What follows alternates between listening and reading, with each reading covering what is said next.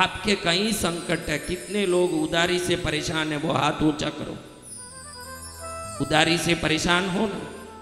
बहुत आपको मैं सटीक उपाय देता हूँ। देखो मैं आपको जो भी बोल रहा हूँ वो आपके कल्याण के लिए बोल रहा हूँ। करके देखो आप। कुछ चीज़ों को देखो। आप देखो कुछ चीज़ों को करके जब उसका फ़ायदा होगा तभी तो आप समझ पाओगे कि क्या हो रहा है। जी भगवान सत्य वचन गुरुदेव। फ़ायदा जब होगा तभी तो अनुभव आएगा। तो आपको एक बात कहता हूँ ये सुन लीजिए। सबसे पहले तीन चीज़ों में पितृओं की शक्ति काम करती है। कितनी चीज़ों में? तीन चीज़ों में। तीन चीज़। देखो शास्त्रों में गौ माता तेईस कोटि तैतीस कोटि देवताओं का निवास स्थान है बोला है। है ना? तो क्या खाली देवता ही हैं? लक्ष्मी गाय के पुष्ट भाग में है। सिंगों में वीरभद्रादि उग्र देवता है मुख में ब्रह्मा विष्णु महेश है कंधे में अश्विनी कुमार नवग्रह आदि देवता है। ऐसे गाय के शरीर में कई देवताओं का स्थान है। लेकिन गाय के पेट में पितृलोक है। क्या है? पितृलोक। हाँ जो पितृलोक है वो गाय का उदर जैसा ही स्वरूप होने से गाय के उदर में पितृओं का लोक माना जाता है। पितृलोक तो अलग ही है वो बात बाद में करेंगे। लेकिन अगर 18 तारीख से कितने तारीख से? अठारह अठारह तारीख से। दो तारीख तक क्योंकि 17 तारीख तक हमारी कथा चलेगी पूर्णिमा तक। 18 को पितृपक्ष लगेगा। तीन तारीख को कृष्णगिरी में नवरात्रि शुरू हो जाएगी। दो तारीख को महालय अमावास्या। किसी भी कष्ट में आप हो देखो आपको बता दूँ उदारी हो रोग हो। क्या हो? रोग। कोई लफड़ा हो कोर्ट केस का। कोई परेशानियाँ हो घर में अनबन हो। 18 तारीख से 15 दिन तक। कितने दिन? पंद्रह दिन। तक पंद्रह दिन। पंद्रह दिन तक गाय को घास डाल के देखो। ज़्यादा मैंने आपको कुछ नहीं बोला।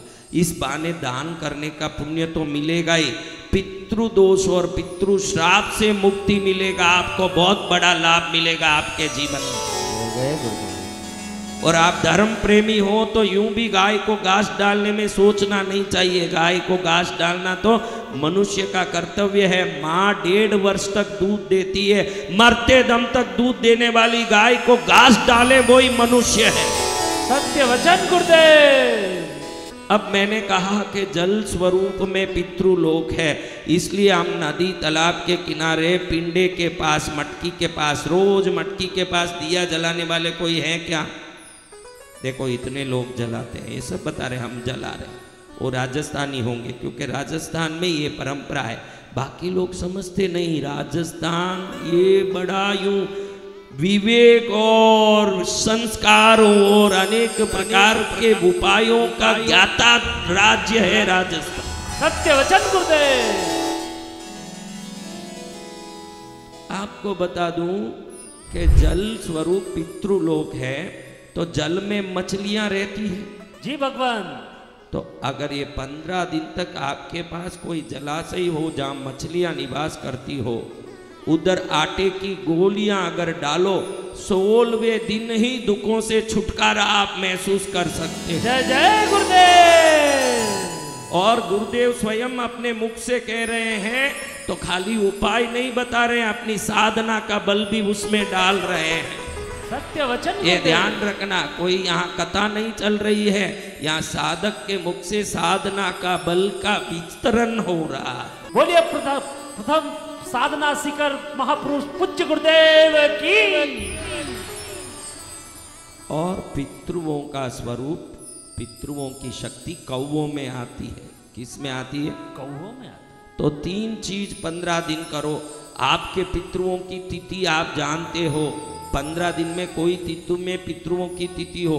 उस दिन अलग विशेष पूजा करो तो बात अलग। उसके लिए विशेष दिन में विशेष देखो आपके दादाजी किस तिथि में गए। तीज चौथ पांचम छठ सातम आठम नवमी दसवीं आप जानते हो क्या? तो उस दिन विशेष पूजा करो, अलग बात। बाकी पंद्रह दिन भी कौवे को गांठिया डालो, मछलियों को आटे की गोलियाँ डालो और गाय को घास खिलाओ।